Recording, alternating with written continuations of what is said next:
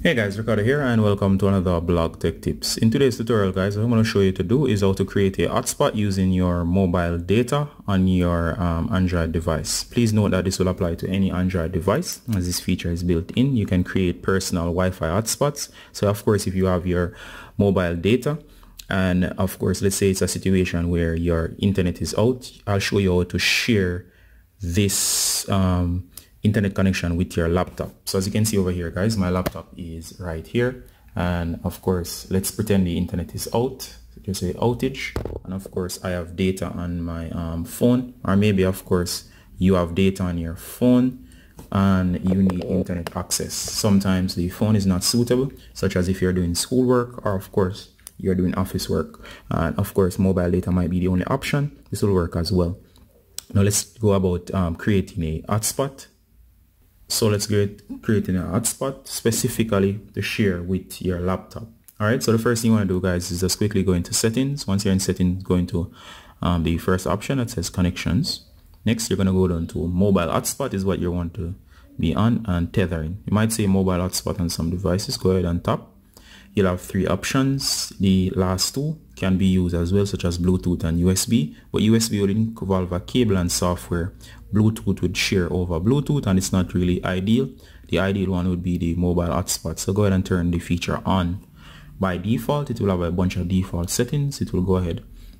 Next, what you're gonna do is tap for more for more um, information, such as the password. And here we go and if you have the options here you can share it by QR code however your laptop not, cannot necessarily um, scan QR code so that's not um, feasible. So of course the information is right here. Notice the name of the network.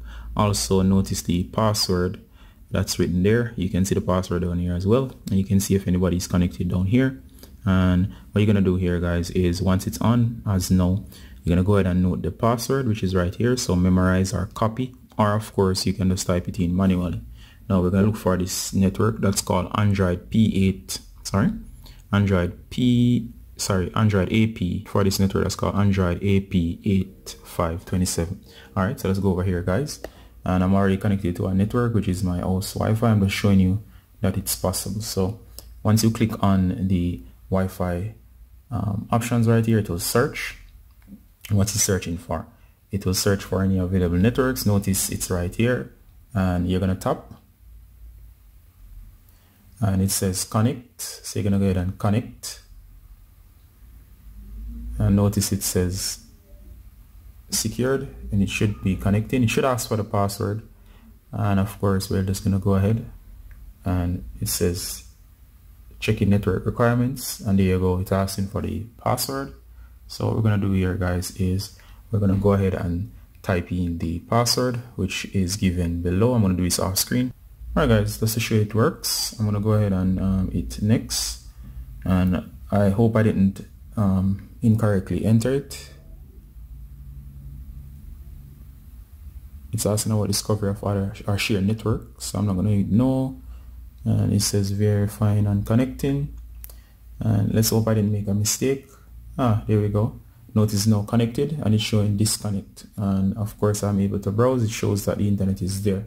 So of course it works flawlessly. Alright guys so please note that in these cases this is the perfect way to share your internet connection with your laptop. Great for continuing working when there's an outage or of course in case you need to um, do something very cool online or to do some um, work. Alright Ricardo Gardener from Blog Tips saying bye until next time. Bye